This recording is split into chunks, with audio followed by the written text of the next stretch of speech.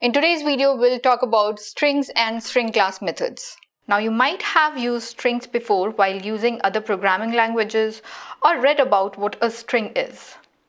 So let's first start off with understanding what a string is with reference to Java. In Java, a string is a powerful concept because everything is treated as a string. If you submit any form in window-based, web-based or mobile application, or if you read data from a file or console, all these inputs are taken as a string. A string simply put is a sequence of alphanumeric characters. Now this character set could include anything ranging from number, alphabets, to delimiters or even spaces. Strings in Java are objects of the predefined string class java.lang.string. So every time you create a string variable, you are creating an object of this class. String class also provides a lot of methods to work on these strings. Now before we get on these methods, in an object-oriented programming language, Objects are classified as mutable or immutable. Mutable and immutable are English words meaning can change and cannot change respectively. And the meaning of these words remains same in IT context. An immutable object is an object whose state cannot be modified after it is created, while the state of a mutable object can be changed throughout the program. So any string variable in Java cannot be altered after being initialized.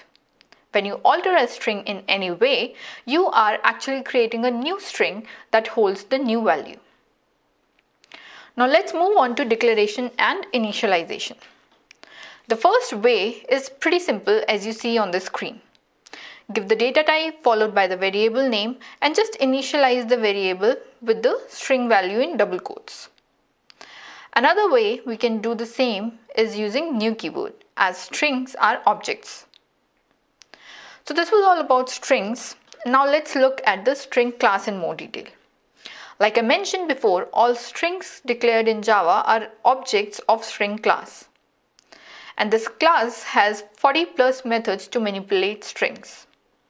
By the help of these methods, we can perform operations on strings such as trimming, concatenating, converting, comparing, extracting, copying, replacing, etc.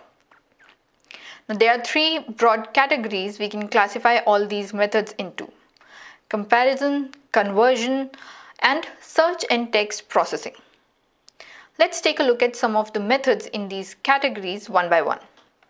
So starting off with comparison, the four most frequently used string comparison methods are equal, equals ignore case, which will ignore the case of strings while comparison, compare to and compare to ignore case.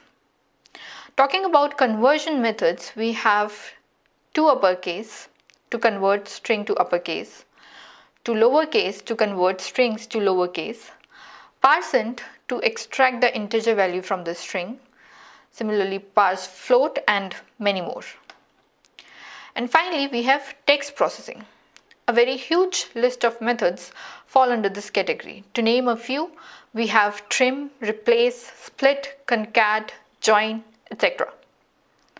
When working with strings, you'll use these functions a lot to make your program easy and fast. So this was all about basics of string and in a few more videos we'll discuss some of the most commonly used functions. Thank you for watching guys. Happy coding.